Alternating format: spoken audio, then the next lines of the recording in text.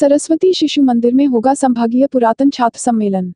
बरेली, सरस्वती शिशु मंदिर में 23 दिसंबर को संभागीय पुरातन छात्र सम्मेलन आयोजित होगा। इस सम्मेलन में विद्या भारती ब्रिज प्रदेश के संगठन मंत्री हरि शंकर होंगे। इस सम्मेलन में भूतपूर्व छात्र आपस में एक दूसरे से भेंट कर विचारों का आदान प्रदान करेंगे और नई पीढ़ी का मार्गदर्शन करेंगे। प्रेस वार्ता में प्रधानाध्यापक सुनील कुमार सिंह, विवेक अग्रवाल, अनुराग अग्रवाल, अनुज शर्मा, आलोक प्रकाश, आशुतोष शर्मा आदि उपस्थित रहे। हरिशंकर। विद्या भारती का ब्रज प्रदेश का संगठन मंत्री केंद्र मेरा मथुरा। आज की जो पत्रकार वार्ता का उद्देश्य है कि जो हमारे जो कार्यक्रम हो रहा है पूर्व छात्रों का, ये ब्रज प्रदेश के अंदर तीन जगह हुआ।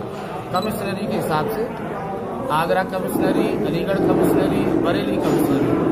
बरेली कमिश्नरी का कार्यक्रम कल तेईस तारीख को होगा और उसमें 300-400 छात्र रहेंगे।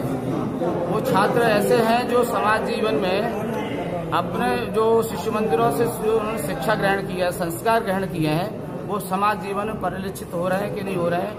हो रहे हैं तो कितने हो रहे हैं? इस तरह की बातचीत रहेगी, गेट टूगेदर रहेगा। जो नए लोग आएँगे, उनको प्रेरणा मिलेगी। और जो कर रहे हैं, उनको और